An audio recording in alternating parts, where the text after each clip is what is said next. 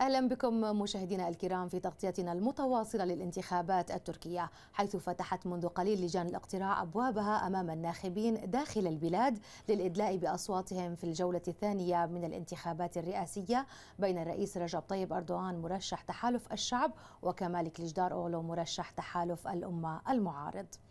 مشاهدينا طبعا نحن في هذه التغطية سيكون معنا الزملاء رقية شلك وعبد العزيز مجاهد وعمر دياب من إسطنبول يرصدون لنا آخر تطورات الأوضاع في تركيا والمشهد الانتخابي مع انطلاق الجولة الثانية من الانتخابات الرئاسية. أهلا بكم جميعا.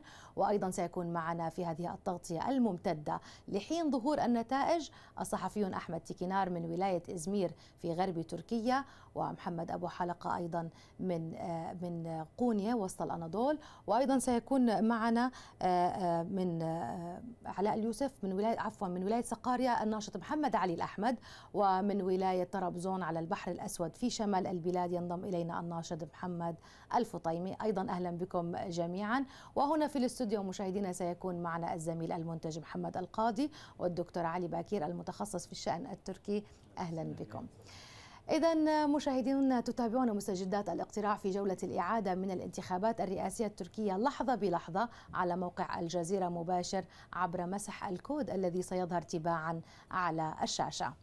نبدأ مشاهدينا من إسطنبول والزميلة رقية التي ترصد الأجواء مع انطلاق جولة الإعادة من الانتخابات الرئاسية التركية. إليك رقية كيف هي الأجواء الانتخابية منذ الصباح؟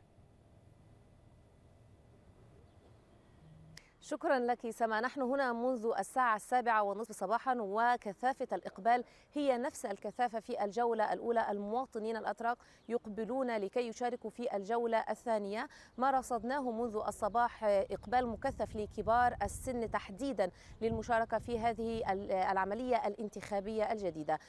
سما وسائل الإعلام التركية تتحدث منذ الصباح على قواعد وإرشادات خاصة بالانتخاب وذلك لأن هناك كانت أصوات كثيرة غير جارية وأصوات تم إبطالها بسبب بعض المشاكل التي حدثت في المرة الماضية. تتحدث وسائل الإعلام التركية على أنه يجب الالتزام بقواعد التصويت وعدم كتابة أي كلمات أو حروف على ورقة الاقتراع.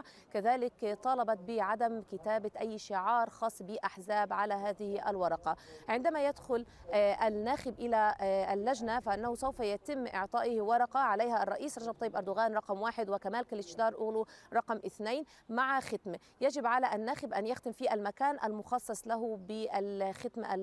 الذي معه ثم بعد ذلك يخرج ويوقع على هذه الورقة. رهان الرئيس رجب طيب أردوغان وكمال كليشدار أغلو على الشباب أولا وعلى الأشخاص الذين لم يصوتوا في الجولة الأولى وبلغ عددهم حوالي تسعة ملايين شخص. هذا هو الرهان الآن. لكن الجديد في هذه الجولة أن هناك خمسين ألف صوت جديد في هذه الجولة خاصة من هم من الشباب الذين بلغت أعمارهم 18 عام خلال هذه الفترة ويحق لهم التصويت الآن. نحن الآن سوف نتابع لحظة بلحظة التطورات في هذا اليوم وأعود إليك سما شكرا لك رقية. طبعا سنعود لك خلال هذا النهار وخلال هذه التغطية عدة مرات.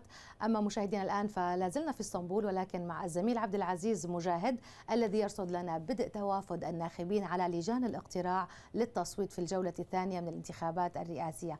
إليك عبد العزيز كيف هي الأجواء لديك؟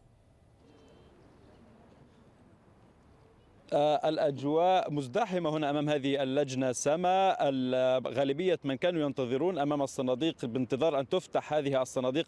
انتهوا بالفعل من إعطاء أصواتهم وخرجوا من هذه اللجنة. هذه اللجنة التي كنا فيها أمام في الجولة الأولى من الانتخابات. يبدو الزحام فيها أكثر مما كان عليه خلال الجولة الأولى من الانتخابات. كثير من المواطنين لم ينتظروا حتى تأتي الساعة الثامنة ويتوافدوا إلى هنا بل قدموا إلى هنا قبل فتح اللجان وانتظروا حتى سمح لهم بالتصويت. يدخل المواطنون الأتراك إلى الصناديق. يجيبون على سؤال واحد. من هو رئيس تركيا القادم رجب طيب أردوغان أم كمال كليجدار أوغلو؟ هذه المرة يستلمون ورقة واحدة ورقة الانتخابات الرئاسية. عليها صورتان وبالتالي عملية التصويت لا تستغرق وقتا طويلا. تنتهي عملية التصويت مما نلاحظه هنا في دقائق قليلة. تنتهي عملية الاقتراع وعملية التصويت. بدأ التصويت الآن وبعد ساعات سيغلق ستغلق هذه الصناديق لتفتح ونعرف من هو الرئيس الثالث عشر لتركيا. اليوم أمام نحن أمام سيناريوهين لا ثالث لهما إما أن يكون الرئيس التركي رجب طيب أردوغان هو الرئيس الثالث عشر لتركيا ولاية جديدة أو أن يكون كمال كليجدار أغلو فرز الصناديق هذا اليوم سما لن يستغرق وقتا طويلا. بعد ساعة ربما من إغلاق الصناديق ستبدأ مؤشرات التصويت في الظهور لكن المؤشر الأول الذي لمسناه خلال الدقائق الخمسة عشر الأولى من فتح الصناديق هو أن الإقبال هو هو الذي كان عليه في الجولة الأولى. لم ينخفض الإقبال في المدارس وفي اللجان التي مررنا عليها خلال الدقائق الماضية. إن صح هذا المؤشر فربما يكون هذا أحد المؤشرات في صالح الرئيس التركي رجب طيب أردوغان. كان هناك تخوف من تراخي المواطنين عدم الذهاب إلى الصناديق والاتكال على النتائج الجولة الأولى. لكن ما نشاهده في هذه اللجنة أن الإقبال متزايد والإقبال موجود كما كان عليه في الجولة الأولى وربما أكثر مما كان عليه في الجولة الأولى. طبعا في كل اللجان الانتخابية رجال الأمن مسؤولو الصناديق المشرفون كلهم واقفون أمام اللجان قبل فتح باب التصويت. لكن لا يوجد زحام خارج اللجان الانتخابية لكن الناس كل شخص يعرف صندوقه الانتخابي الذي صوت فيه خلال الجولة الأولى وهو نفس الصندوق الذي سيصوت في هذه الجولة. هذا ما سهل أيضا عملية الوصول إلى الصناديق. ليست هناك تعقيدات إدارية كما كان في الجولة الأولى حيث كان هناك على العديد من المواطنين لا يعرفون أين يذهبون وأين يصوتوا. الآن لأننا في الجولة الثانية الوصول إلى اللجان الانتخابية أسهل الوصول إلى الصناديق أسهل وبالتالي نحن نتابع معك أمام أمام هذه اللجنة توافد المواطنين على هذه اللجنة والإدلاء بأصواتهم حتى تغلق الصناديق سما شكرا لك عبد العزيز. طبعا نحن سنتابع أيضا لحظة بلحظة وكما قلت يعني فعلا كنا نخشى من أن يكون هنالك يعني قلة في الإقبال على الصناديق لكن الحمد لله يبدو أن هنالك إقبال جيد. اذا مشاهدينا سنبقى في إسطنبول أيضا لكن سنذهب إلى الزميل عمر دياب أيضا ليرصد لنا الأجواء في هذه الساعات الأولى للانتخابات. عمر كيف هي الأجواء أيضا لديك؟ أتمنى أن تكون أيضا مزدحمة كما هي عند عبد العزيز وأيضا رقية.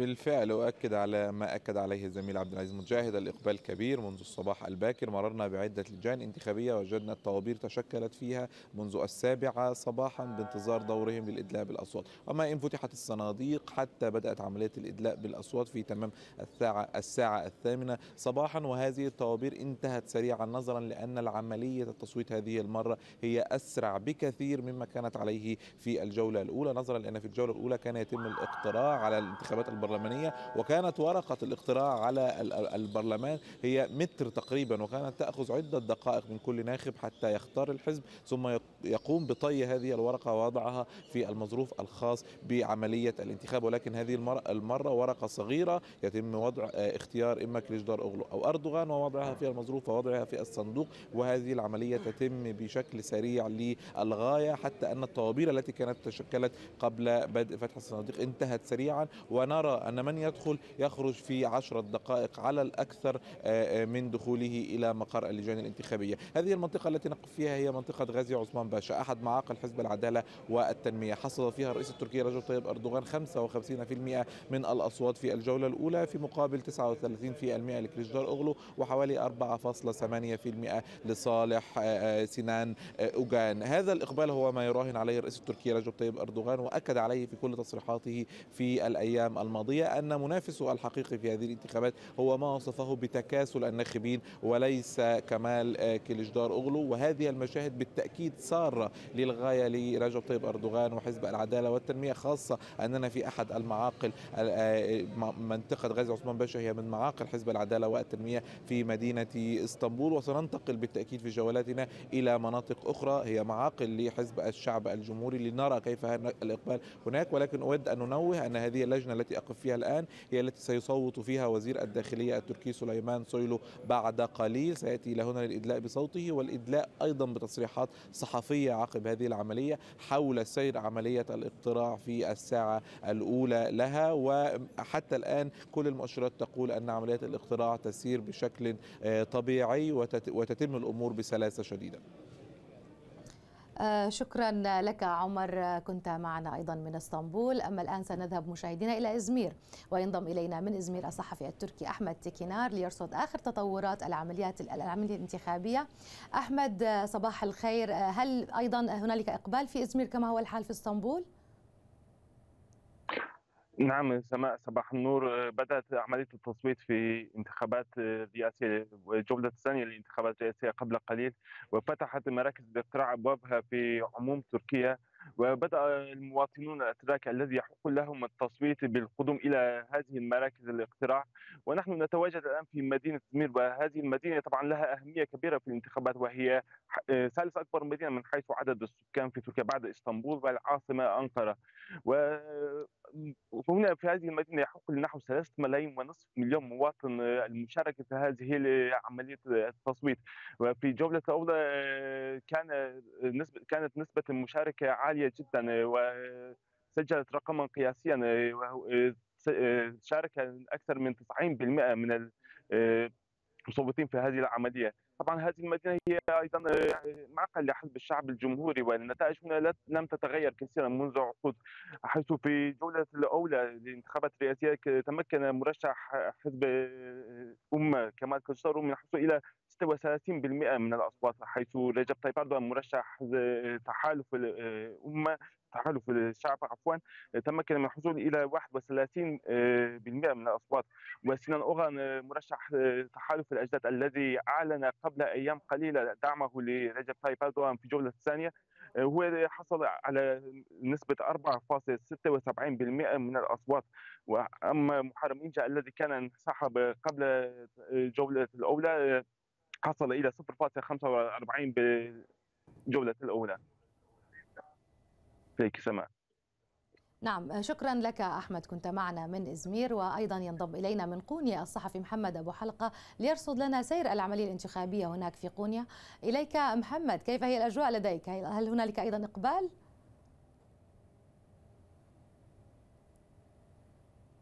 إن طبعا كما تشاهدون خلفي بدأ توافد الناخبين الأتراك. إلى هذه المنطقة وإلى هذه المدرسة تحديدا التي تحمل اسم نياز اوسطا حيث من المفترض أن يتم أن أن أن, أن يأتي والي هذه المدينة ويدلي بصوته هو والنائب في حزب العدالة والتنمية.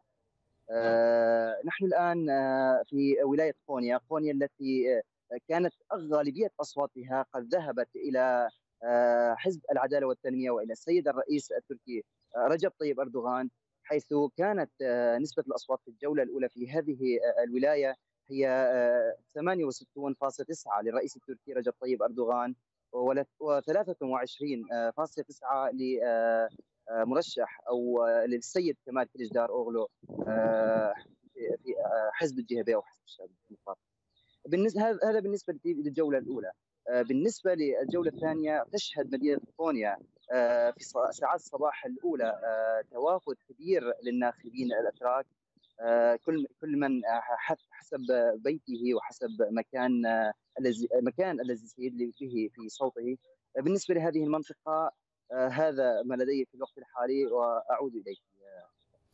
شكرا لك محمد كنت معنا من قنيا وسنعود لك طبعا خلال هذه التغطية. أما الآن متشاهدينا نذهب إلى سقاريا والناشط محمد علي الأحمد يرصد أيضا لنا آخر تطورات العملية الانتخابية. محمد كيف هي الأجواء في سقاريا؟ آه نعم آه سماء افتتحت مراكز آه الاقتراع أبوابها أمام الناخبين آه الأتراك للإدلاء بأصواتهم في الجولة الثانية. لكن الإقبال ليس كما هو في إزمير أو إسطنبول. بدأت في عموم تركيا الجولة الثانية من الانتخابات الرئاسية التركية. بعد أسبوعين مرت بطيئا كما يصفها الأتراك هنا حيث أن الشعب التركي لم يتعود على الجولة الثانية في الانتخابات الرئاسية خاصة مع الرئيس أردوغان وحزبه العدالة والتنمية. ويتنافس في جولة الإعادة من الانتخابات الرئاسية التركية الرئيس الحالي رجب طيب أردوغان ومنافسه الرئيسي كمال كليشتار أولو وفي أعقاب جولة أولى شهدت منافسة محتدمة في بدأت الجولة الثانية جولة الإعادة للانتخابات هي الجولة الثانية وهي الأولى من نوعها في تركيا حيث حصل في سكاريا الرئيس التركي رجب طيب أردوغان على نسبة 64% من الأصوات من الأصوات في مدينة سكاريا مقابل خم مقابل 27 لمنافسه كمال كليشتار أولو و5.2% لسينان.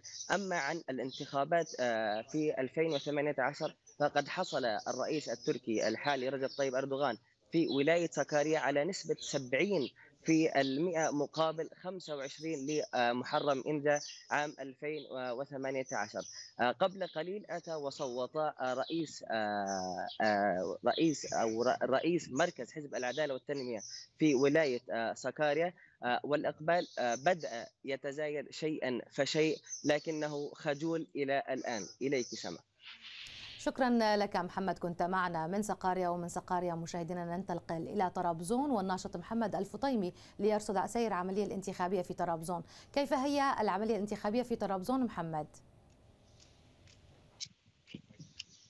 بعد انتهاء الجولة الأولى من انتخابات الرابع عشر من مايو التيار كان الحاصل الاكبر على النسبة الأكبر من الأصوات هو رجب طيب أردوغان بنسبة 52.49% من مجموع الأصوات أما معارضيه الأول كمال كلشتار أوغلو فقد حصل على 44.88% من أصوات أصوات الناخبين. أما عن يليه سنان أوغان فقد حصل على 5.17% من أصوات الناخبين. وها نحن اليوم في الجولة التاريخية التي تمر تركيا بتاريخها للمرة الأولى في جولة الإعادة حيث انحصرت المنافسة بين مرشحين اثنين. هما رجب طيب أردوغان وكمال كاشتار أولو هنا في مدينة طرابزون وبعد إدلاء أكثر من 600 ألف مواطن بأصواتهم في الجولة الماضية حصل أيضا أردوغان على النسبة الأكبر وهي 65.32 أما كالشتار أوغلو فقد حصل على 28.33% من الأصوات يجدر بذكر أن سنان أن سنان أوغان قد صرح قبل أيام دعمه لمرشح الحزب الحاكم رجب طيب أردوغان. ولا بد من التذكير بأنه حصل عن المدينة 5.98% من الأصوات. فهل ستذهب هذه الأصوات أم جلها؟ أم سيختلف الأصوات عن هذا المرشح؟ بالنسبة إلى الإقبال الإقبال بدأ ضعيفا إلى الآن ولكن ربما سوف يزداد مع الوقت. إليك كما شكرا لك محمد كنت معنا من طرابزون. شكرا لكل المراسلين الذين يوافون بالتفاصيل كل تفاصيل الإقبال على الانتخابات اليوم في هذا اليوم الكبير للإعادة في انتخابات التركية. أما الآن أعود لضيوفي في الاستوديو معنا طبعا الدكتور علي باكير المتخصص في الشأن التركي. كما تابعنا هنالك إقبال يعني جيد وملفت إن كان في إسطنبول وأنقرة وبعض المدن لكن طرابزون يبدو أنها أقل. كيف ترى هذا الإقبال في الإعادة؟ علما الكثير كانوا يتوقعون أن لا يكون هنالك إقبال حقيقي كما المرة الأولى. صحيح طبعا هو كان هناك تحدي بالنسبة لكلا المرشحين في حشد الناخبين للذهاب إلى الجولة الثانية لأن هذا أيضا أمر غير معتاد في الانتخابات التركية عادة ما يتم الحسم في الجولة الأولى. أنصار الرئيس أردوغان البعض كان يعتقد أن هناك انتصار سهل ولذلك ليس هناك حاجة للإقبال الكثيف. في المقابل أيضا أنصار كليشتار أولو كانوا يعتقدون أنه ليس بإمكانه أن يؤدي أفضل مما أدى عليه في الجولة الأولى وبالتالي الموضوع كان قد حسم. ولذلك كلا الطرفين حشدا خاصة في اليومين الأخيرين باتجاه دفع الناخبين للتوجه إلى صناديق الاقتراع. أعتقد في المدن الكبرى ربما نشهد يعني نسبة مرتفعة لكن علينا أن ننتظر يعني مساء أمس الرئيس أردوغان كان قد حث ناخبيه للذهاب إلى الصناديق في الساعات الأولى من التصويت. أعتقد حتى يشجع هذا الآخرين على عدم التقاعس وأيضا يعني الذهاب باكرا إلى الصناديق. سنحتاج إلى بعض الوقت لنرى كيف سيكون الأمر عليه مقارنة بالجولة الأولى؟ علما أن الجولة الأولى كان هناك يعني نسبة تصويت عالية جدا حوالي 87% والمفاجأة أيضا كانت أن التصويت في الخارج للجولة الثانية كان أعلى أيضا من الجولة الأولى وحقق نسبة تاريخية وذهب حوالي يعني مليونين صوت تركي في الخارج لصناديق الاقتراع. هذا كان أمر لافت لأن البعض كان يعتقد أن هناك ربما سيكون تدني في النسبة لكن على العكس على كان هناك نسبة حسن. مرتفعة. يعني خصوصا فعلا كما ذكرت موضوع الصناديق الخارجية يعني كان الإقبال أقل يعني البعض يعتقد أو يعني يعتقدون أنهم من هم في الخارج يعني منفصلون لحد كبير عن الواقع التركي ولا يهتمون كثيرا إلى آه، لهذه الانتخابات. لكن الآن في جولة الإعادة يبدو أن هنالك اهتمام أكبر من هؤلاء الموجودون في الخارج. طبعا هناك انطباع أيضا بأن النسبة الزائدة في الخارج ربما تكون لكليشتار أوغلو. سنرى إذا ما كان هذا الانطباع صحيحا أو لا في نهاية الجولة الثانية من الانتخابات. هناك أيضا انطباع في الداخل التركي أن هناك شريحة من أنصار الرئيس أردوغان لم تذهب إلى الصناديق في بعض المدن وكانت يعني متقاعسة خاصة مثلا في العاصمة أنقرة. سنرى أيضا إذا ما كان هذا الانطباع صحيح. أم لا الانطباع أن أصوات عفوا لا، الانطباع تفضل. أنه أصوات الخارج تذهب لكليشدار مبني على نتائج الجولة الأولى. لا الأصوات الخارج تذهب للرئيس أردوغان لكن النسبة الزائدة في الجولة الثانية ربما يكون يعني عدد كبير منها لكليشدار هذا انطباع طبعا وليس تحليل سنرى النتائج. معلومات نعم. نعم, آه، نعم. نعم لكن بالنسبة للجولة الأولى يعني كيف كان عدد أصلا المنتخبين في الخارج بالنسبة لأردوغان؟ كان الأغلبية العظمى طبعا يعني في طبعا الخارج هو كانت في في الخارج الرئيس أردوغان له أردوغان. أفضلية في الحصول على له الأصوات وذهب في الجولة الأولى حوالي مليون و800 ألف صوتوا في. في. آه، الصناديق وكان هناك طبعا نسبة نسبة آه، عالية للرئيس أردوغان في آه، بلدان عربية خاصة في في المشرق العربي وشمال أفريقيا ولبنان حظي بالمرتبة الأولى في نسبة التصويت من إجمالي الناخبين الأتراك الموجودين في الخارج. آه، أعتقد حوالي 92% وهذه النسبة كانت مرتفعة جدا. ثم الأردن جاء في المرتبة الثانية ومصر المرتبة الثالثة بالنسبة إلى الرئيس آه، أردوغان. وكان هناك أعتقد إسبانيا والبرتغال وربما دولة أخرى آه، يعني من النسب العالية في التصويت للمرشح كمال كليشتار سنرى إذا ما كان هناك تغيير في هذه نعم. الحسابات والأرقام. يعني لكن الأسبوعين الأخيرين يعني شهدا الكثير من الأحداث. يعني كنا لا نتوقع ابدا أن يحصل أصلا إعادة وجولة أخرى لكن آه، حصلت وفي هذين الأسبوعين حصل الكثير من الأحداث.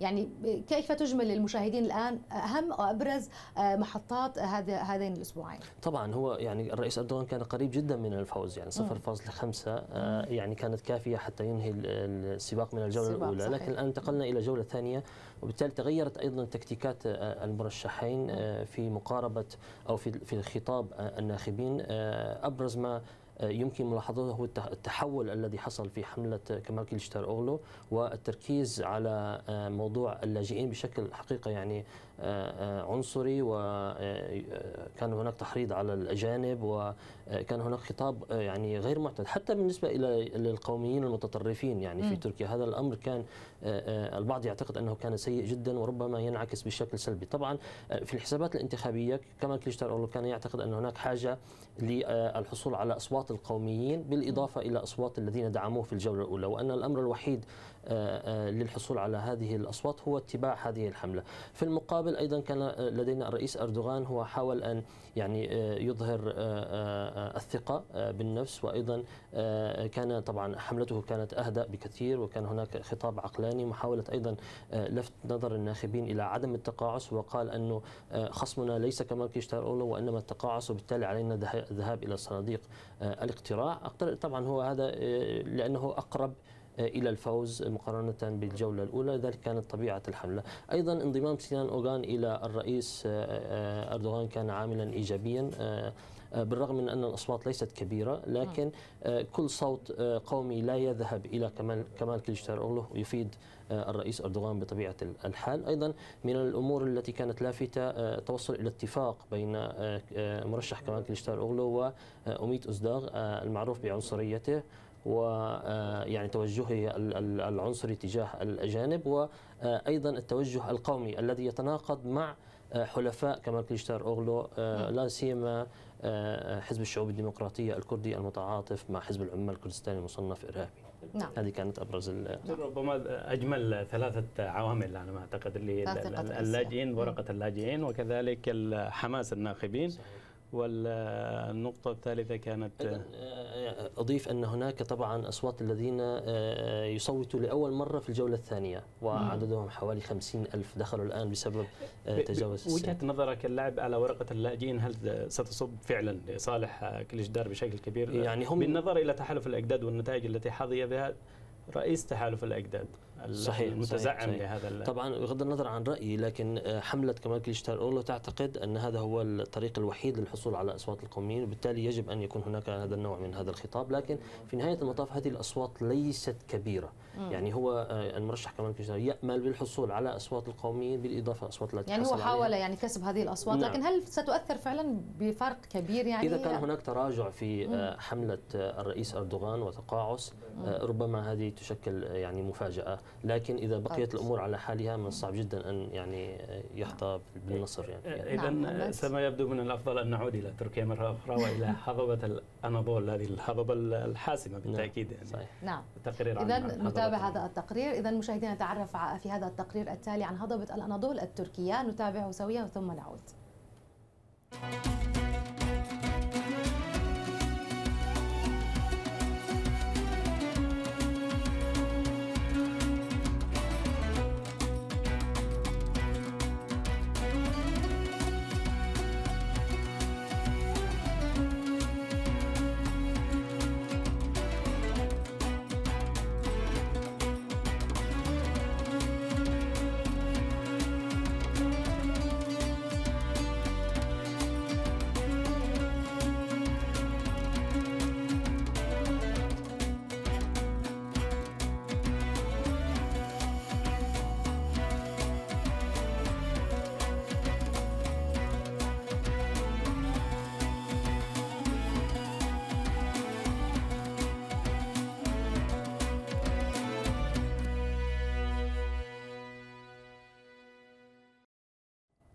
إذا مشاهدينا تابعنا هذا التقرير عن هضبة الأناضول وأعود أيضا لزميلي محمد القاضي المنتج في الاستوديو وأيضا دكتور علي باكير المتخصص في الشأن التركي معنا هنا في الاستوديو. إذا تابعنا هذا التقرير عن هضبة الأناضول يعني وهي جزء يعني يعني مهم في تركيا.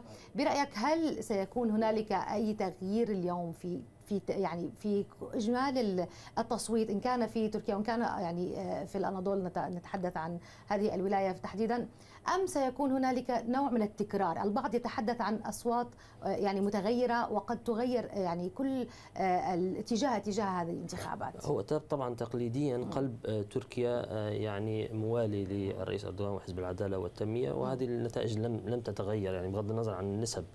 التي ذهبت إلى كلا المرشحين، لكن يعتقد أن هذه الجولة ربما يكون هناك تغيير في أنقرة لأنه أنقرة خرجت عن هذا الخط في الجولة الأولى والاصوات ذهبت لصالح كمال كليشداروغلو بفارق حوالي 1.3% وبالتالي ربما يعتقد أنه يعني ذهاب أو زخم أكبر من قبل ناخبي الرئيس أردوغان قد تعيد أنقرة إلى حزب العدالة والتنمية والى الرئيس أردوغان.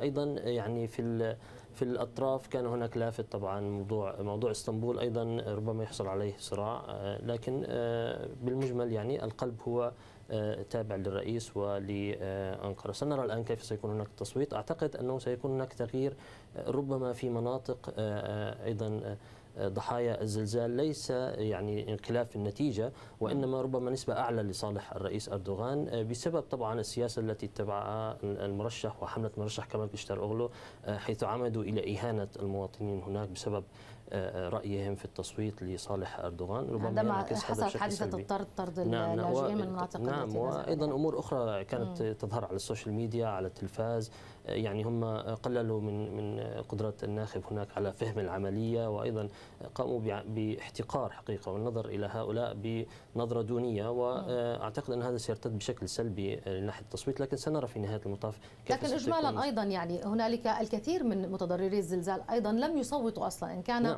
في مناطقهم أو في المناطق التي لجأوا إليها صحيح. يعني حتى صحيح. لو كان هنالك ردة فعل تجاه كمال فقد لا تكون واضحة فعلا في الصناديق أيضا كمال استطاع كما ذكرنا قبل قليل أن يجذب الكثير من الأصوات أو لنتحدث عن بعضها بحيث يعني قد يخل بهذا الميزان ميزان هو في مناطق اليوم. الزلزال يعني هاتاي ذهبت إلى كمال كليشداروغلو والباقي مم. ذهب إلى الرئيس أردوغان لكن أنا أتكلم عن الفرق في النسب ربما مم. يكون الفرق في النسب هذه المرة أعلى لصالح الرئيس اردوغان بسبب. ردة الفعل على يعني الإهانات التي تعرض لها ضحايا الزلزال لكن كما ذكرت رغم أن يعني في هاتاي كان هنالك إقامة للمشفى التي وعد فيها صحيح. الرئيس أردوغان أن تقام بشكل سريع وفعلا قامت ورغم ذلك صوتوا لكمال كليشدار طبعا هو, هو يعني, يعني هو لا نعلم. صح هو كانت رسالة أيضا للناخبين بمعنى أنه نحن لا نعاقبكم على خياركم الحر في اختيار صحيح. الرئيس أو اختيار كمال كليشدار ونحن نعمل ما علينا وهذا المستشفى الذي تم بناؤه بوقت قياسي شهرين حقيقة يعني في مدينة مثل هاتاي كان أمر يعني جدا يعني آه، مهم بالنسبة إلى الناس لكن سنرى إذا ما كان هناك تحول يعني في وجهة نظر تغيير في وجهات النظر. أي. بالنسبة لموضوع سنان أولو يعني سنان أوغان عفوا. سنان آه، يعني في في النهاية قرر ضم صوته لأردوغان. لكن هل فعلا يعني ناخبي سنان هل فعلا سيتأثرون في ذلك ويذهبون إلى أردوغان أم أن ذلك لن يؤثر على تصويتهم وقد يذهبون إلى كمال؟ يعني لا, لا يمكن أن نعرف بالضبط كم عدد الذين سيتأثرون وكم عدد الذين سيقررون عدم التصويت. لكن مم. باعتقادي الخاص أنه إذا ما تم تخيير القومي آه، الحقيقي بين آه، كمال كليشتار أوغلو والرئيس رجب طيب أردوغان فسيختار بالتأكيد رجب طيب أردوغان. آه، لكن هل سيذهب هؤلاء فعلا كلهم إلى التصويت هذه المرة؟ هذا أمر لا يمكن أن نعرفه. ثانيا هل سيؤثر على على على الم- على الميزان فيما يتعلق بحسابات الرئيس أردوغان؟ أنا لا أعتقد ذلك لأن العدد كان صغير في الجولة الأولى آه، وكان كمال كليتشدار أوغلو يحتاج إلى كل هذا العدد يعني حوالي آه، آه، آه، خمسة مليون صوت أو 2 مليون صوت عفوا 2 مليون صوت. آه، آه، كمال كليتشدار أوغلو يحتاج إلى كل هذه الأصوات بينما الرئيس أردوغان لا يحتاج إلى جزء بسيط منها وبالتالي حظوظه أعلى في كسب القوميين من آه، كمال كليتشدار لكن سنرى أيضا كيف أثر انضمام أوميت أوزداغ إلى آه، حملة آه، كليشتار أوغلو فيما يتعلق بأصوات مم. القوميين هذا أيضا سيكون يعني من المثير للاهتمام متابعة كيف كانت ردة الفعل كيف فيها. أثر انضمام سنان وكيف بالضبط. اثر انضمام رئيس. الاتحاد يعني هل هل يعني هنالك كان تقاسم بين سنان وأميت في هذه الحالة يعني أنا أذهب إلى أردوغان وأنت تذهب إلى سنان إلى كمال في حال حصل هذا أو حصل هذا يكون أحدنا معهم يعني يعني آه، البعض تحدث بالفعل نعم، عن هذا السيناريو النظرية، بأنه تم نعم. بناء على ترتيبات. مسبقة لكن أنا شخصيا لا أعتقد هذا. آه، أعتقد أن آه، أميت أزداق اتخذ قراره الخاص. وطبعا آه، تحالف الأجداد تفكك. هذا أيضا عامل إضافي في إضعاف الصوت ال- ال- ال- القومي الذي كان يذهب إلى تحالف الأجداد. كمال كليشتار أوغلو بحاجة إلى كل هذه الأصوات التي ذهبت في الجولة الأولى إلى سنان أوغان بينما الرئيس أردوغان بحاجة إلى عدد بسيط بخلاف. نعم نعم. نعم. طيب محمد؟ سما بال- بإمكاننا أن ننتقل أيضا إلى تقرير آخر. عن مدينة إزمير هذه المرة. نذهب إلى إزمير. إذا مشاهدينا نذهب إلى هذا التقرير المعلوماتي عن مدينة إزمير. نتابعه سوية ثم نعود لمتابعة حديثنا هنا في الاستوديو.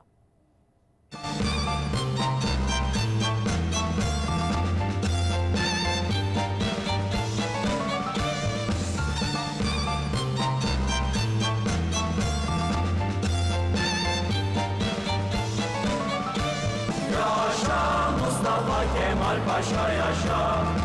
Adın yazılacak mücevher taşa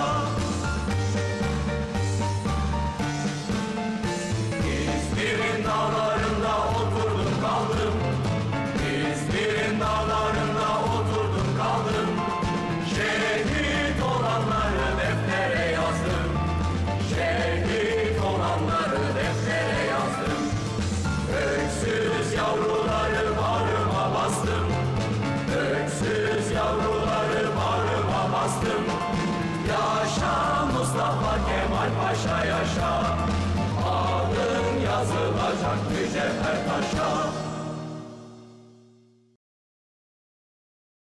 إذا مشاهدينا تابعنا هذا التقرير المعلوماتي عن مدينة إزمير وأعود لضيفي في الاستوديو السيد علي باكر الدكتور علي باكير المتخصص بالشأن التركي آه، سيد علي آه، يعني تابعنا إزمير إزمير إلى أين ستذهب هذه المرة؟ آه، كما كانت تذهب في كالعادة. في السابق يعني نعم. كالعادة. الحقيقة يعني كان حتى وإن عددنا عنها نعم نعم. هذا لن يغير من يتغير. الواقع باعتقادي. آه، حقيقة كانت النسبة عالية آه، لكمال كليشتار وليس هناك مفاجآت في هذا الجانب. نعم. آه، يعني حوالي آه، 2 أو 63% آه، لصالح كمال أوغلو وأكثر من الثلث آه، بقليل لصالح الرئيس أردوغان. لكن مع هذا يعني خلال السنوات القليلة الماضية حزب العدالة والتنمية والرئيس أردوغان تقدموا في في داخل آه، إزمير. يعني أن تحصل أيضا على آه، 32 أو 33% أمر مهم جدا في معقل يعني أو قلب المدينة التي توصف بأنها دائما مع آه، آه، الجي بي أو مع المعارضة التركية قلب العلمانية. وبالتالي هناك تقدم آه، بطيء لكن مستمر خلال السنوات ال- الماضية. أيضا أنا أريد أن أذكر أنه في قلب ال- ال- الأناضول تحدثنا قبل قليل في الغالب كانت تذهب إلى يعني دائما دائما كانت تذهب إلى الرئيس أردوغان وحزب العدالة والتنمية. لكن أيضا كان هناك استثناء مدينة إسكيشيهير. مم. أيضا يوجد فيها آه، تيار علماني آه، قوي وهي أيضا صوتت لصالح كم- كمال كليتشدار أوغلو. آه، لم يكن الفرق كبيرا جدا لكن سنرى كيف ستكون. الاستراتيجية التي اتبعها سواء كمال كليتشدار اوغلو أو اردوغان في الجولة الثانية من الدعايه الانتخابية. لم نشاهد مهرجانات كبيرة بالذات في إسطنبول وإنما. مهرجانات صغيرة ورسائل تلفونات وتغريدات على تويتر. صحيح صحيح مم. طبعا هو كان في صح كان في اختلاف في في, ال- في الستايل في هنالك الأسلوب وعود على التليفون على المسجات أو الرسائل التي أتت إلى الموبايلات يعني نعم. أو هواتف ال- الناخبين وكانت يعني دائما فيها نوع من الوعود يعني المبالغ فيها الحقيقة أن هذا طبعا حصل جدل. حول هذه. الرسائل لأنه آه، الحكومة منعت آه، الرسائل التي أرسلها ك- كمال أولو في الأخيرة أولو. لأنها هنا البعض لا يعرف الخلفية. اعتبر أن هذا تعتيم عليه هو لا هو هذا مم. كان في مخالفة للقانون لأن هناك قانون سابق آه، أقر يعني أعتقد في شهر ثلاثة الماضي يمنع استخدام الجوال لأغراض البروباغندا أو الدعاية. لكن بإمكان القول مثلا أنه آه، آه، لدي مقابلة على المكان الفلاني آه، الرجاء متابعتي سأقول مثلا. سأقول آه، يعني الوعود التي مم. آه، سأعطيها للناخبين إلى آخره. لكن لا يمكن أن تتصرف ببروباغندا مباشرة من خلال الهاتف الاسراف في هذه الوعود هل سينعكس بالفعل يعني ايجابا على ال- ال- كمال كليشدار نعم.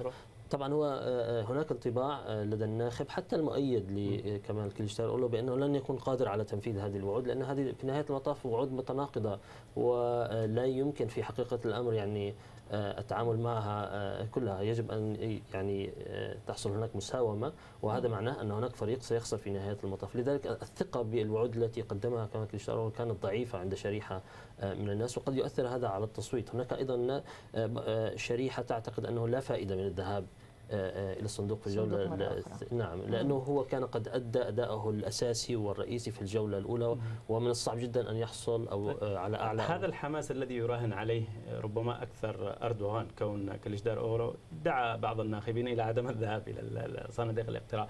مؤشر هذا الحماس الآن الذي يظهر على الشاشة هل هو مؤشر جيد مؤشر يبنى عليه خلال ال- يعني آه، حسب المدن الرئيسية كما استمعنا في الصباح كان هناك إقبال جيد لكن علينا أن ننتظر لنرى أيضا آه، كيف تصرفت باقي ال- ال- المدن الناخبين في نعم. باقي المدن. أيضا أيضا كمال كليجدار أولو يعني آه، في خلال هذين الأسبوعين الأخيرين يعني وجدنا أن هنالك حدة في صوته وفي يعني في آه، خطابه للجماهير.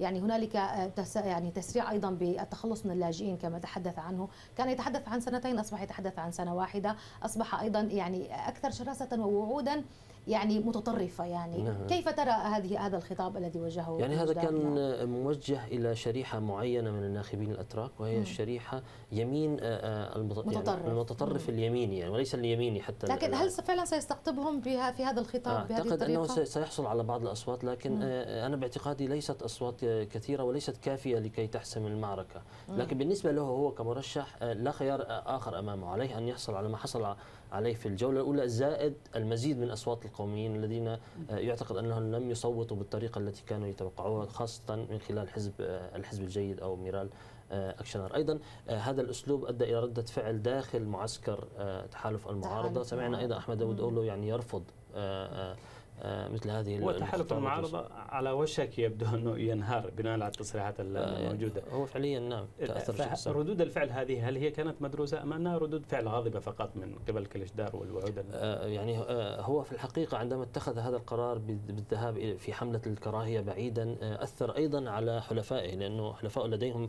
توجهات مختلفة يعني هم, هم آه، ليسوا منسجمين أيديولوجيا أو سياسيا وبالتالي التحالف كان ضعيف وهش يعني قبل أن يتخذ هذه الحملة. مع هذه الحملة الآن أصبحت الأمور يعني آه، أكثر سلبية بالنسبة إلى حل- حلفاء آه، كمال كليشتار أوغلو لا سيما الوسط اليمين آه، ذو الصبغة الإسلامية لنقول الليبرالي الإسلامي أو ال- النخبوي الإسلامي. اذا سما كما كنا في أزمير معقل. العلمانيه ننتقل إلى بورصة. بورصة. العاصمة عاصمة العثمانيين. نعم إذا نذهب مشاهدينا إلى هذا التقرير. المعلوماتي عن مدينة بورصة العاصمة الأولى للعثمانيين وبوابة الأناضول للغرب والمركز البارز أيضا في الصناعة والتجارة والمقصد السياحي المهم. نتابعه ثم نعود.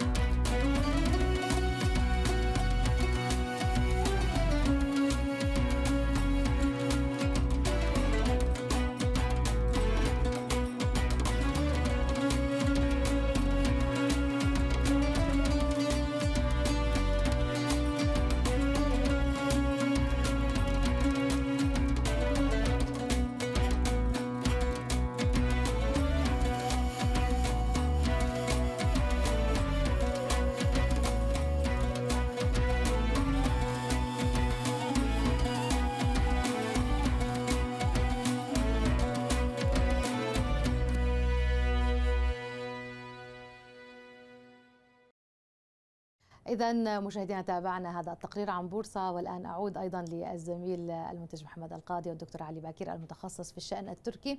أهلا بكما من جديد. إذا كان هذا التقرير عن بورصة. برأيك بورصة إلى أين؟ أعتقد ال- ال- النتيجة واضحة لن تتغير. هي ذهبت مم. إلى الرئيس أردوغان في الجولة ذهبت الأولى. بشكل كامل نعم أعتقد بفارق أكثر من 10% و- يعني هذا فرق كبير ليس مريح. ليس بالإمكان نعم أن نعم يتم كسره يعني إذا هي مستقرة لحد ما لن نعم. يعني لن يخشى عليها من الأصوات المتأرجحة يعني هذا ما أقصده لا لا, في لا. تاريخ الانتخابات التركية بالعادة. دائما يعني تذهب.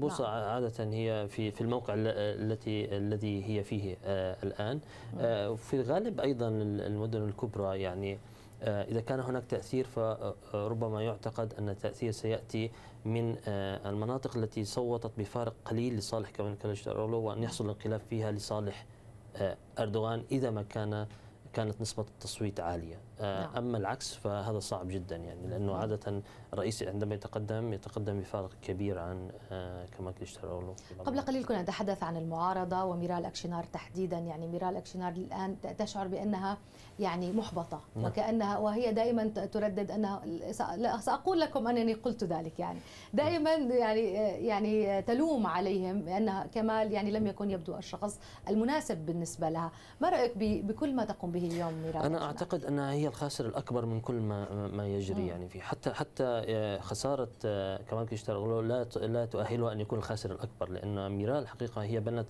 كثير من الآمال آه، على أن تكون رئيسة وزراء آه، في السيناريو الذي كان مفترضا وفق تصور المعارضة أن يحسموا الانتخابات من الجولة الأولى بفارق كبير. وهذا الأمر لم يحصل وبالتالي ليس لديها أي بديل آخر الآن. الأمر الثاني آه، حزب الحزب الجيد في حقيقة الأمر كان من المتوقع له أن يحصل على عدد كبير من الأصوات.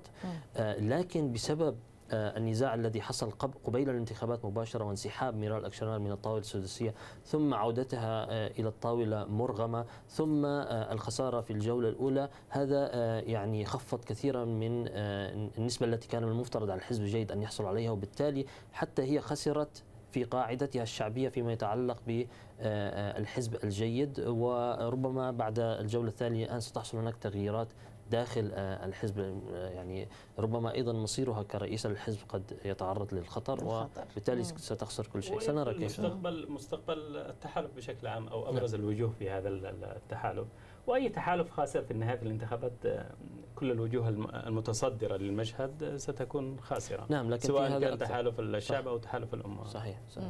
صحيح. طيب آه، أيضا كمال قدم كثير من التنازلات يعني لاميت اوزداق يعني ق- يعني وعده بوزارة الداخلية بوزارة الثقافة والسياحة رئاسة هيئة المعونة التركية. الكثير قدمها لأوميت يعني برأيك يعني هذا كم سيؤثر الآن على على النتائج لصالح كمال؟ طبعا آه، هو كان مستميت في الحصول على أصوات مم. ال- ال- القوميين والمتطرفين لأنه كما ذكرنا ليس لديه أي فرصة أخرى يعني آه، إذا لم يحصل عليها فهو خاسر قبل أن يدخل آه، الجولة. الجولة الثانية آه، الآن ربما هو يعتقد أن حظوظه أعلى قليلا ليس يعني بما يتعلق بالحسم وإنما فيما يتعلق بالمراهنة على الطرف الآخر ربما يحصل هناك تقاعس من قبل قاعدة الرئيس أردوغان وبالتالي يكون هناك فرصة أكبر له للفوز. آه، آه، أيضا كان هناك لوم كبير له على هذا التصرف على اعتبار أنه أصلا حجم حجم الكتلة التي يمثلها أوميت أوميت أوزداق يعني صغيرة جداً، نعم تمام. وبالتالي آه، الإغداق عليه بهذه المناصب وهذه الوعود لم يكن مقبولا عند شريحة من المعارضة أيضا. الأمر الثاني حتى طريقة يعني تقسيم آه، آه، الوزارات وأماكن يعني ال- الرسمية وال- والمؤسسات العامة. لم تكن مقبولة عند شريحة واسعة ممن اعتبروا أن هذا ليس تصرف ديمقراطي أصلا يعني أن يتم توزيع مناصب قبل أن يتم آه، حسم النتيجة آه، وبالتالي آه، هناك من يعتقد أن هذا سيرتد بشكل سلبي آه، آه، سنرى إذا ما كان هذا صحيحا أم لا لكن أعتقد أن التناقض الأكبر داخل معسكر المعارضة والداعم لكمال كليشتار هو بين التيار الكردي الموالي لحزب الشعوب الديمقراطية المتعاطف مع حزب العمال الكردستاني مصنف إرهابي وبين جماعة أميت ازداق والقوميين المتطرفين مم. آه، سيكون حقيقة مفاجأة إن استطاع كمال كليشتار أن يحشد من الطرفين آه، يعني أصوات. عدد أصوات أكبر من الجولة الأولى. أنا سأكون متفاجئا في حقيقه أصلا يعني الأكراد منزعجين من هذا الاتفاق بين بطبيعه الحال بطبيعه الحال. لكن قرروا هم أن يعني يغضوا الطرف عن هذا الاتفاق وأن يركزوا على أردوغان. بمعنى أنهم خاطبوا قاعدتهم بالقول إذا ما أردتم التخلص من أردوغان علينا أن نصوت لكمال كليشتارولو بغض النظر عن أي اتفاق من الممكن لكمال كليشتارولو ان يعقده مع أي طرف آخر. والأمر الثاني أنه يهمنا أن نحصل على ما وعدنا كمال كليشتار أغلو به في الجولة الثانية عن إذا ما طبعا انتصر في إذا ما انتصر. أيضا كذلك التصويت الأكراد هو سلاح ذو حدين يعني قد يكون صحيح. مفيد لكمال وفي نفس الوقت مفيد للمرشح الآخر أليس كذلك؟ يعني صحيح يعني هو قد يرتد بشكل سلبي وفي جميع الحال إذا إذا خسروا الآن يعني سيكون لديهم المزيد ليخسروه. مع تصدر حزب العدالة والتنمية والرئيس أردوغان للمشهد في الجولة الثانية.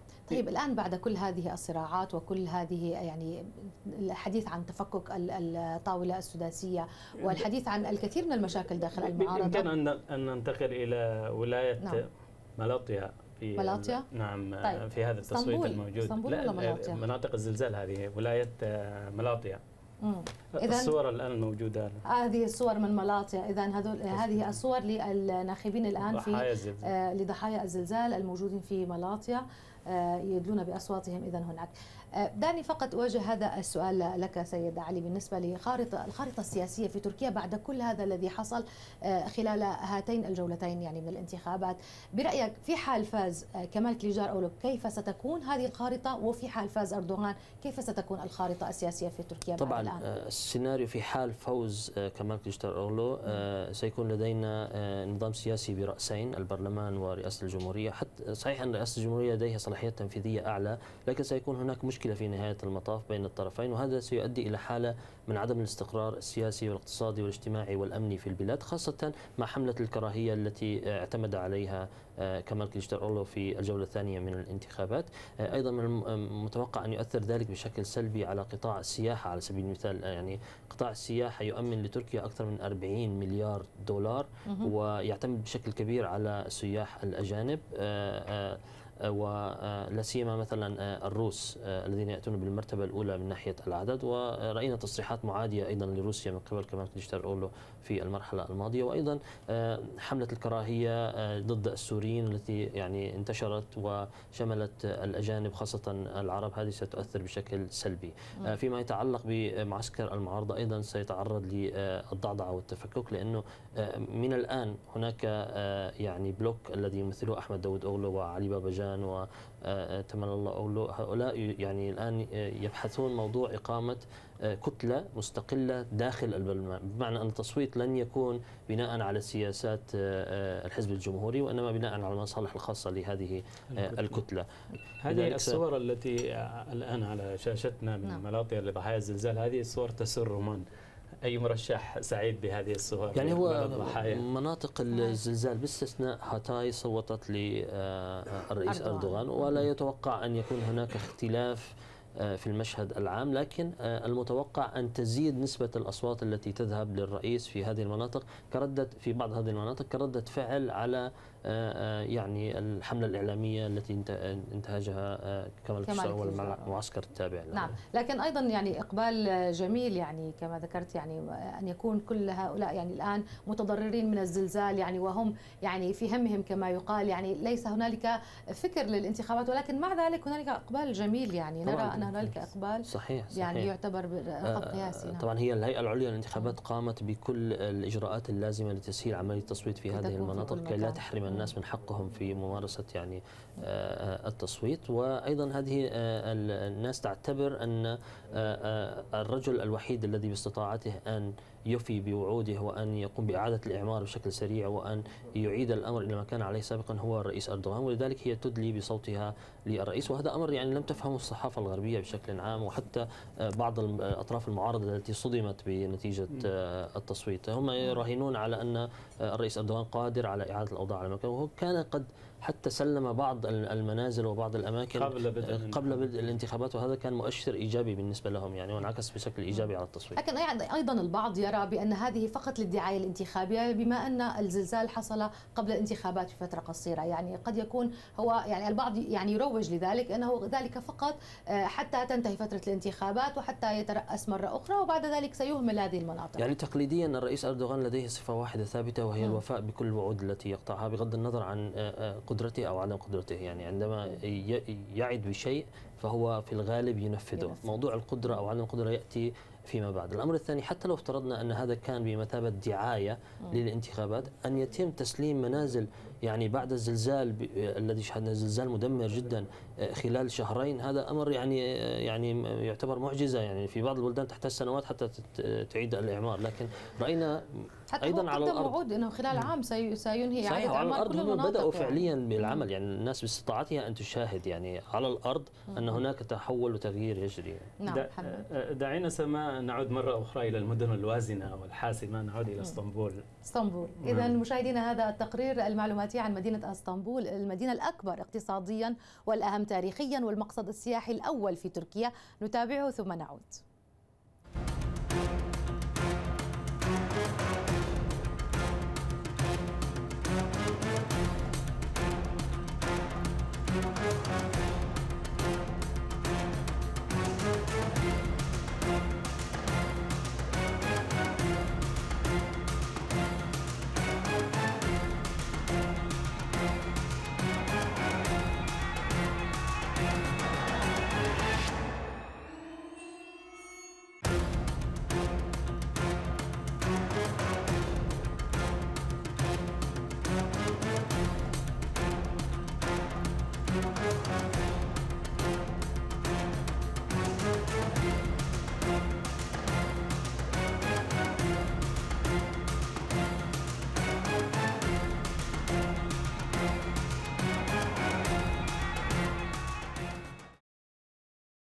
مشاهدينا تابعنا هذا التقرير عن اسطنبول هذه المدينة الأهم في آه، تركيا والأكبر أيضا. دعونا نسأل السيد آه، علي بكير عن هذه المدينة. إذا اسطنبول من يربح اسطنبول؟ يربح تركيا. برأيك يعني؟ أعتقد لم يعد هذا لم يعد صحيح لم يعد لأنه- صحيح أن أصبح آه، أقل. نعم أصبح هناك شكوك حول هذا الموضوع لكن آه، سننتظر بطبيعة الحال يعني نتائج الجوله الثانية حتى نحكم نعم. أم لا.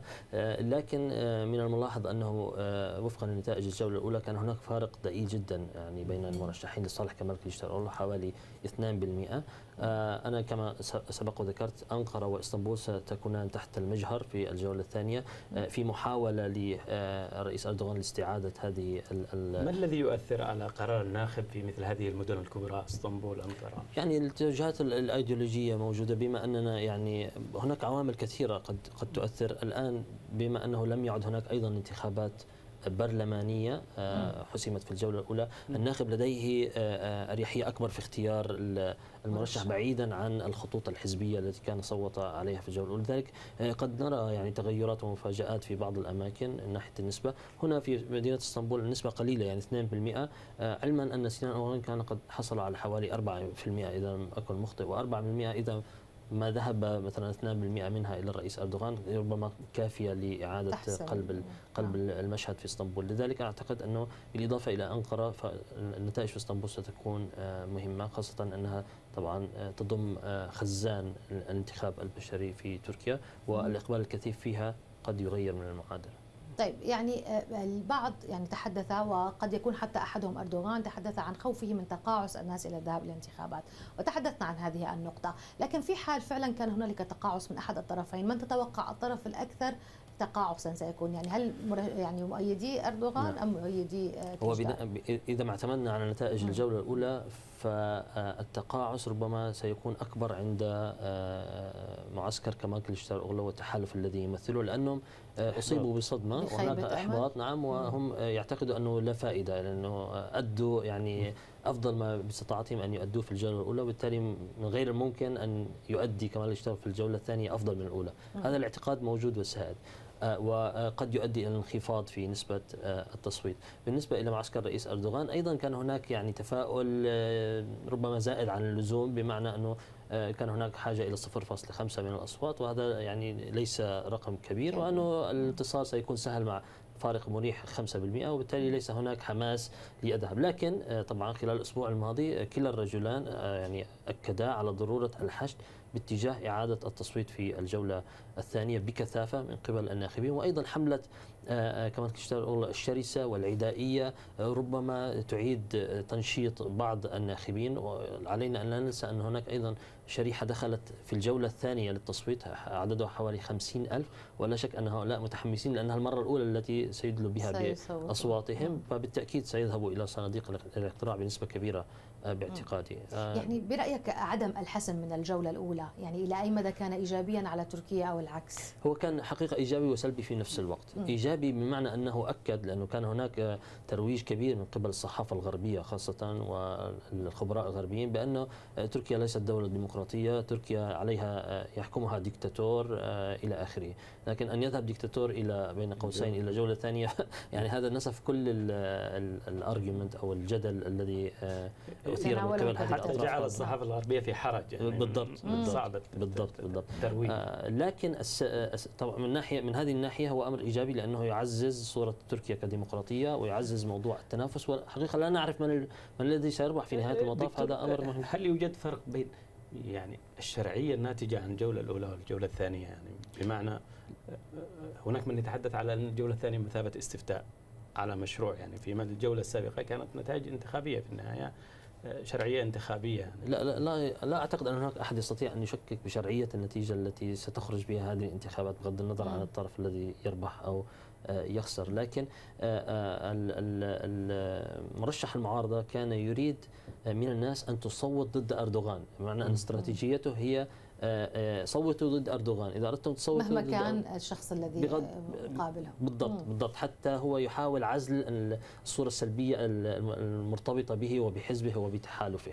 آه، آه، وحتى أنه دعا يعني آه، أمس أو أول أمس الناس الذين لا يريدون أن يصوتوا لصالح إلى عدم الذهاب إلى صندوق الاقتراع. وحقيقة كان هناك ردات فعل سلبية واسعة ضد هذا التصريح على اعتبار أنه يعني. يعني يقول للناس لا تمارسوا حقكم في التصويت ولا نعم. تذهبوا إلى صناديق الاقتراع وهذا ليس تصرف ديمقراطي يعني آه، كما هو معروف آه، أما من الناحية السلبية وأنهي بذلك آه، طبعا الجولة الثانية أثارت نزاعات غريزية وحملات كراهية وعنصرية وهذا كان أمر سلبي جدا بالنسبة إلى صورة تركيا وبالنسبة إلى حتى المواطنين الأتراك والأجانب الذين تضرروا من هذا الموضوع وعلى مم. رأسهم اللاجئين السوريين لكن أيضا قد يعني هذه النقطة قبل أن نكمل نعم. بالإمكان أن ننتقل إلى مواقع التواصل الاجتماعي لا هاشتاج محمد. يعني. ل- طيب إلى إليك هذه نعود نقطة جدا فيها. مهمة سأعود نعم. لها سيد علي لكن إذا مشاهدينا سنذهب الآن إلى محمد نصر الله زميلي وأهم ما تداولته منصات التواصل الاجتماعي بشأن الانتخابات التركية صباح الخير محمد صباح الخير سما واهلا بكم مشاهدينا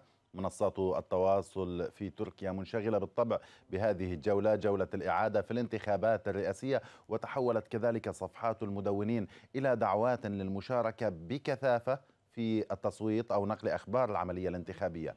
وقبل فتح صناديق الاقتراع نشر- مصطفى شنطوب رئيس البرلمان التركي تغريدة جاء فيها. تتوجه أمتنا إلى صناديق الاقتراع مرة أخرى لاستخدام حقها في التصويت وهو من أعظم إنجازات جمهوريتنا وانتخاب رئيس الجمهورية.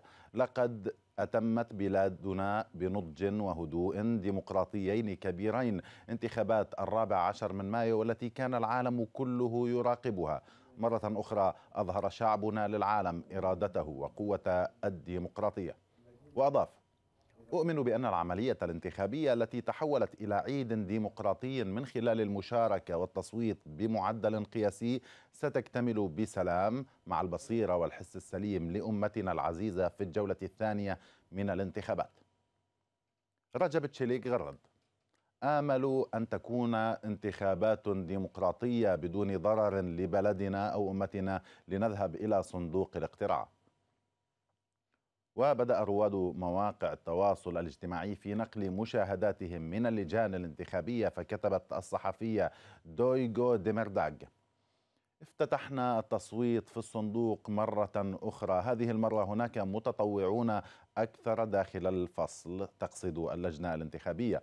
مصير الانتخابات لن يتحدد من قبل أولئك الذين يشاهدون عبر التلفاز ولكن من قبل أولئك الذين ينتظرون أمام صناديق الاقتراع. نحن مدينون لهم جميعا بخالص الشكر. أما إليف جوتشلو فغردت جئت لأدلي بصوتي بمجرد فتح باب التصويت للحاق بالعمل المكان بالفعل مزدحم للغاية. الأمر رائع جدا. خالفها في الرأي أوروتش كايا والذي قال ذهبت للتصويت. المكان ليس مزدحما مثل الرابع عشر من مايو. أما صاحب هذا الحساب فكتب يوم تاريخي لبلادنا مهما كان قرارنا فلنذهب إلى صناديق الاقتراع ونصوت. صوت واحد يغير الكثير دعوا الشعب يقرر. على المنصات العربية كذلك يستمر تفاعل المدونين مع هذه الانتخابات التركية حيث غرد الصحفي سمير العركي.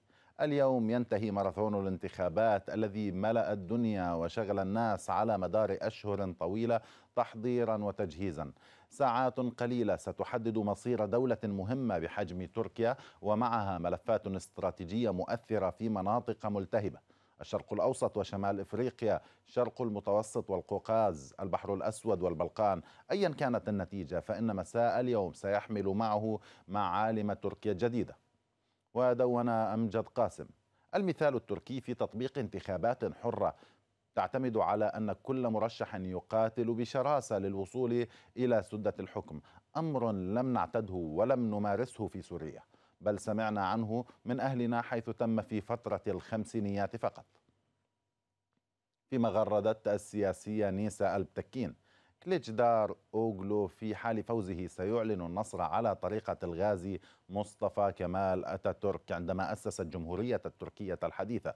وأردوغان ينوي إقامة احتفال مزدوج منه للاحتفال أو احتفال بفتح القسطنطينية ومن آيا صوفيا ومنه احتفال بالانتصار وكأن التاريخ يعود بنا إلى الوراء.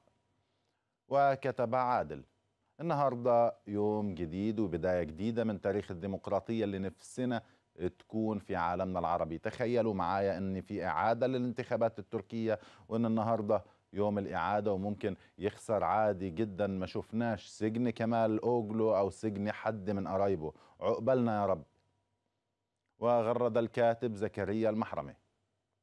تخففوا من الحماسة لأردوغان أو أوغلو فتركيا دولة مؤسسات ودستور وليست دولة الحاكم بأمر الله. والسياسة التركية ثابتة ولن تتغير بفوز هذا الفريق أو ذاك. هذا كان كل ما لدينا على منصات التواصل الاجتماعي بشأن الانتخابات الرئاسية التركية. هذه التغطية متواصلة ونترككم مع هذه الصور من لجان الاقتراع في جولة الإعادة من الانتخابات الرئاسية. إلى اللقاء.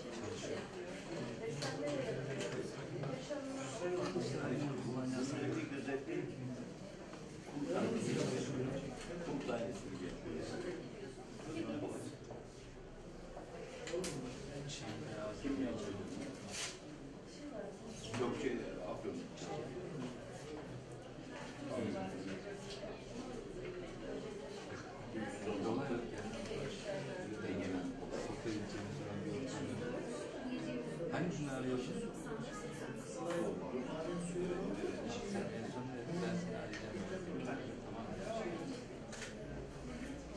Şuraya gel. Şuraya. Şuraya.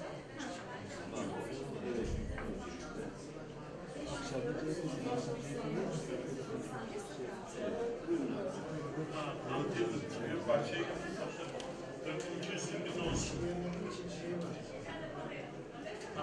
Aynısı. Efendim günaydın, iyi sabahlar. Evet. Ha? Ee, aynı sınıf, aynı. Haberleşiriz.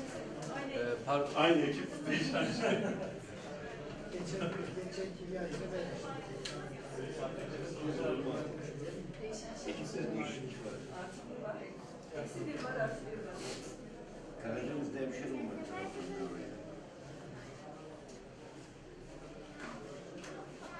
Toplanmışız diyor. Hatta dördüncü kitabı da seçimden sonra bir okey çeviriyor.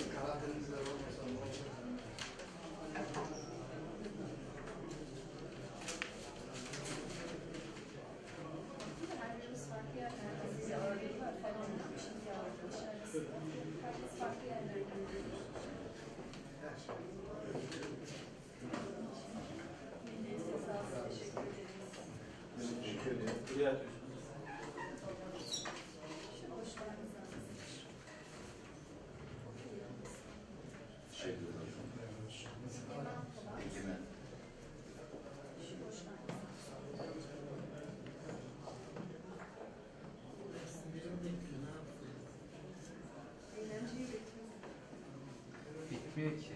Bizden sonra da bitmiyor. Giren çıkamıyordu o zamanlar. Çevre şey uzadığı için dışarı yığılıyordu. Şimdi iki dakikada gidiyorlar. Seçmenlerimizin de 80 yaş üzeri olduğunu öğrendik. Genellikle buraya giriş olduğu için değil mi? Özürlü seçmenler, engelli seçmenler de buradaymış. Bir dakika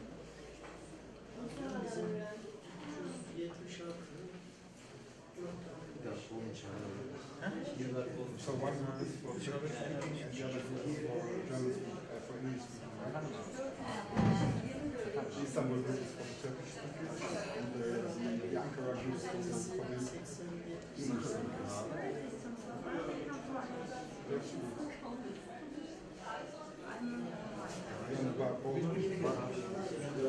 And Yes, one. Yes, one. Tamam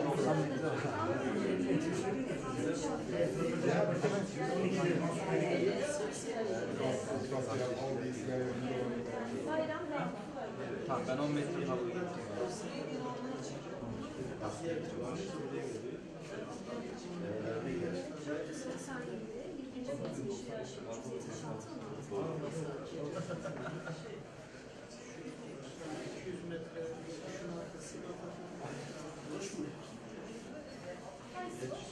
İkisi de boş.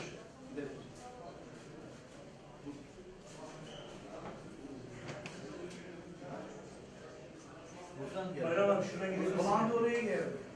Oradan.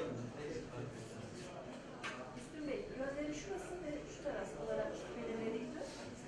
Aynı yönden vermemek gerekiyor. Yok bu tarafa gidecek, bu tarafa döndü. Bu arkadan döndü.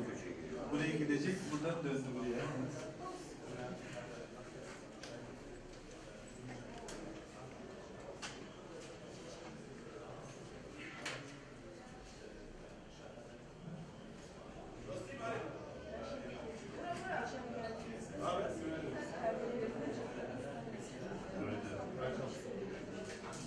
Günaydın. Kolay gelsin. Mail gelmedi. Attı. Üç tane. Abi camda. Dün gerçekten attım ya. Abi camda. Ya pardon. Gerçekten ha. Siz bir kişi daha vardı burada. Hayır üç, üçünüz de, üçünüz de birden attım vallahi. Tekrarlar o zaman. Şimdi bakar, bak şimdi beynine de bakayım. Allah. Bir şey yanlış yazdık o zaman. Şeyden Ha?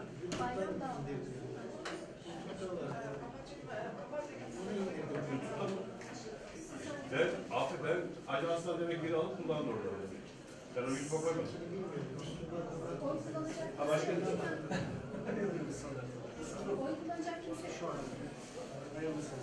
Selam. İyi fena değil ya. Şunu bir yere koyayım da.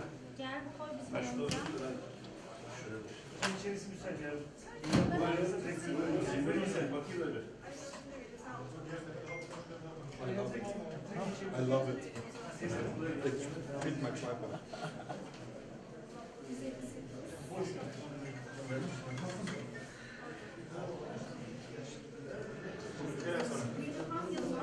talked to the manager that he needs to call the heater. yeah, it's, yeah, it's really Onlar da var da ben sadece kanal görmedim. Ertesi tarafındakiler bir pahalı. Tamam, okulu bastım oraya. Ceketimi yağmurdan astımdan bekliyorum. Tehlikeli şey yazar. You located in where? You located in where? In Germany. Emanetle Türkiye. Alacağız ya. Valla gideceğim. Yo, sonra Germany. Öğreniyor musun? German. Yok, hanım öğreniyor. Yani bak, halo. Başka? Halo. Bugünün başı bir tane, 14 İyi Haysen. Başka ne var? Başka ne? Bugün attım çünkü o ayrı bir attım akşam. Başka yok mu? Var var. Varmış. Üç tane var. Yani All the bad words. Bir dakika hiç değil. Çok güzel. Değil mi? Nasılsın? Üçü. İyi gitsin. Good. Good. Ben iyiyim. Çok iyi. Şöyle. Yeter. Yeter falan. beyaz kağıtla nasıl Başka yok. Ben gidebilir miyim şimdi Almanya'ya? Bir, bir, bir, bir. Ein Bier. Baksana. Aa, müzikler çıkıyor. Website onda mısın? Biraz daha biraz daha. Ya öne değil. Çıkıyor. Ha, şu an çıktı. Şu an. Ay, Şey gözüküyor. Zaten bu bana görecek. Gelecek ben şey yapacağım. Döneceğim. Sen?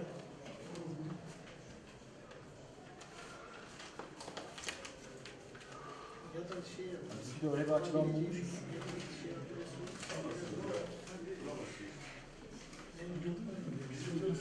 Bir tane öyle, yani siz öyle verdiniz de o yazarken varsa karede ama onu bir hafif bir yere kullanınca ondan alacaksınız. Yoksa bizim sisteme de giremezsiniz. Someone's mentioning he's getting a nice sunburn. He's getting a nice sunburn outside, right? Yeah. Kaç yedi masaya bırak. But he needs that. It's good, yeah. It's, really, really healthy. Düzgün yazıyı söyleyeyim bana.